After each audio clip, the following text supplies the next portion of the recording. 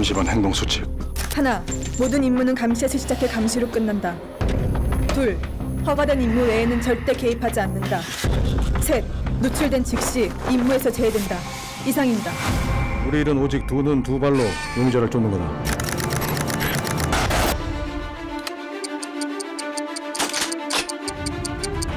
시작. 벌거롭고 단서 없고 계획 똑 부러지시고 융합파야? 13시 정각 동물원 개장 자, 행무소에 7번 출구에서 출발하시고 다람쥐 두더지가 백업해. 카메라 설치 들어갑니다. 꽃돼지 트이. 2호선 5번 간 편성번호 2447, 15시 30분 636 하차. 체형, 키 90% 이상 일치. 현장 앞을 지나갔습니다. 310을 지납니다. 반갑습니다 이 자식아. 명심해.